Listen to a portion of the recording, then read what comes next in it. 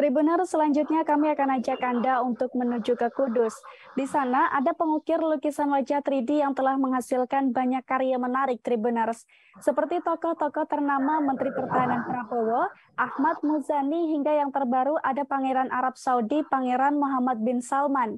Karya dari seniman ini cukup populer saat ini, bahkan pasarannya sudah tembus hingga ke mancanegara, Tribuners. Dan bagaimana kisahnya akan disampaikan oleh rekan Rezanda Akbar dari Tribun Jateng. Silahkan rekan Reza. Iya, terima kasih Ariska. Jadi tadi yang disebutkan uh, itu adalah penata atau pelaku seni yang namanya Heru Suprayitno yang saat ini uh, dia sedang sibuk mengukir kayu jati menjadi lukisan wajah tiga dimensi di rumahnya. Untuk rumahnya beralamat di Desa Medini Gang 9, RT 1 RW 3, Kecamatan Undaan Kudus. Heru membuat beragam lukisan tiga dimensi dengan menggunakan kayu jati.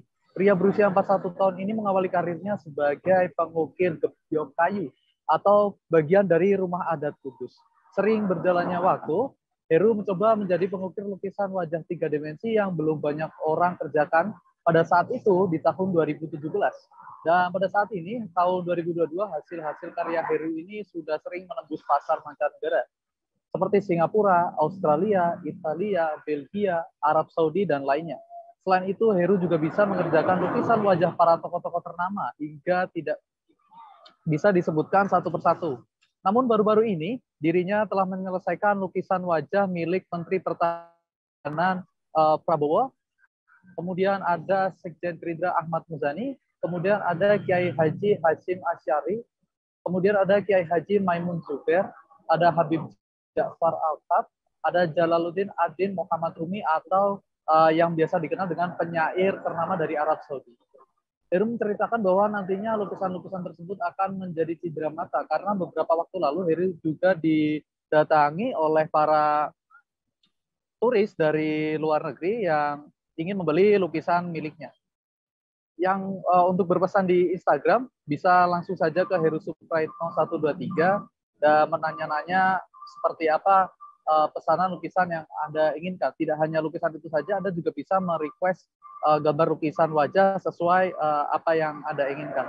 Ada beberapa tahap pengerjaan lukisan wajah tersebut. Untuk bagian utama adalah memilih kayu jati yang baik.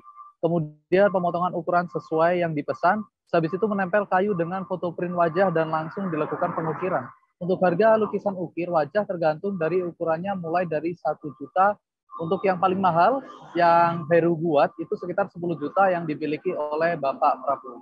Biasanya dalam sebulan Heru bisa mengerjakan 4 hingga 5 kali ukiran wajah.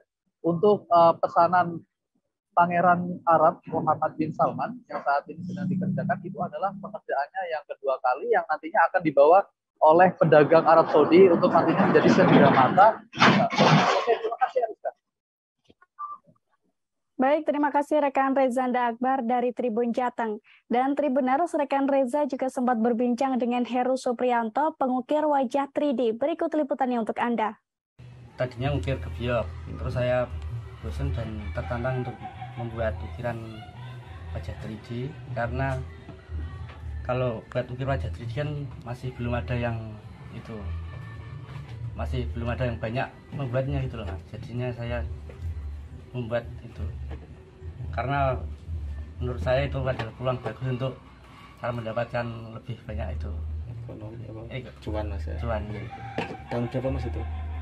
Tahun sekitar tahun 2017 mulai. Saya dulu belajar atau kalau belajar belajar autodidak mas. Untuk belajar sendiri. Terus mungkin yang pernah dibuat apa mas? Wajah. yang pernah dibuat Mainan Prabowo terus Ahmad Muzani